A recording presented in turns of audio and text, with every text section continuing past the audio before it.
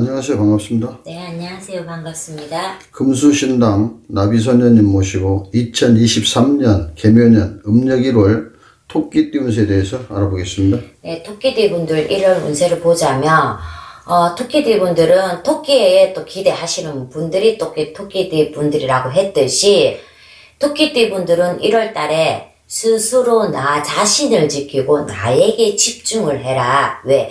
이분들 같은 경우에는, 어, 토끼띠 분들 1월 달에는 조금 쉬어가는 달.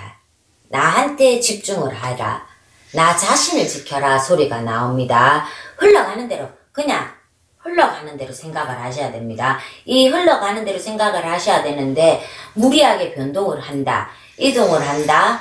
투자 투기를 한다라면 100% 손해를 보기 때문에 조금 1월 달에는 쉬어가는 달이고 내 건강 체크를 하시고 나한테 스스로 집중을 하고 어, 하신다면 무난하게 흘러갈 수 있는 달이라고 볼 수 있습니다.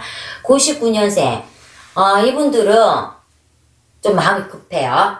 내가 움직이다 보면 손해를 볼 수 있기 때문에 마음적으로도 불안하고 어, 금전적인 부분에도 애가 실 수가 있어요. 그렇기 때문에 99년생 이분들은 조금 쉬어가는 달, 어, 이성 문제에서도 그렇고 금전적인 부분도 있기 때문에 조금 참고 견뎌라. 1월 달에는 참고 견디고 있는 자리에 있어라 소리가 나옵니다. 자, 87년생.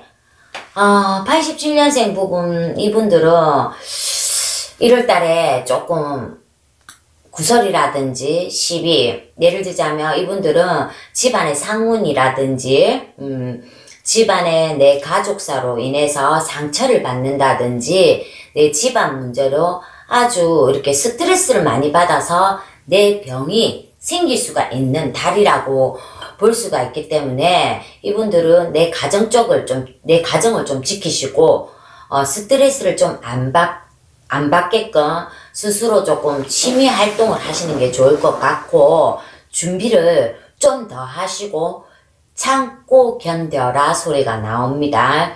75년생, 음, 이분들 같은 경우에는, 어, 건강 부분은 크게 나쁘지는 않을 거예요. 예를 들자면은, 아픈 부분이 있고, 어, 다쳤던 부분이 있다라면, 이 건강 부분은 호전이 돼요. 하지만, 금전에 가지고 있는 금전이 있다라면 조금 흩어질 수가 있기 때문에 계획표를 잡으셔야 되고, 어, 부부간에 조금 갈등이 올 수가 있기 때문에 참고 견디는 게 좋을 것 같고, 75년생은, 어, 1월달 역시 그냥 있는 자리에 무조건 있어라. 직장 생활 하시는 분들은 있는 자리에 있으시고, 이사를 하고, 뭐, 변동을 하시려고 마음을 먹는다라면 그분, 이분들 역시도 1월달에는 움직이지 말고 있는 자리를 지켜라 소리가 나옵니다. 63년생. 이분들 같은 경우에도 내 건강 부분에 조금 체크를 하시고, 어, 건강검진도 받아보시는 게 좋을 것 같습니다. 사고라든지 낙매, 이런 쪽으로 조심을 하시고, 위, 간, 폐, 이런 쪽으로 잘 살펴보시는 게 좋을 것 같고, 금전, 내 금전을 가지고 계시는 분들이 있다라면 내 곳간을 챙기시고 품고 있어라.